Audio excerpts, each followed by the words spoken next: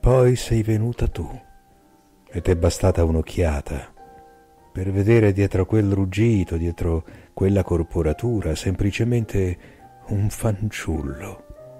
L'hai preso, hai tolto via il cuore e così ti ci sei messa a giocare, come una bambina con la palla, e tutte, signore e fanciulle, sono rimaste impalate come davanti a un miracolo.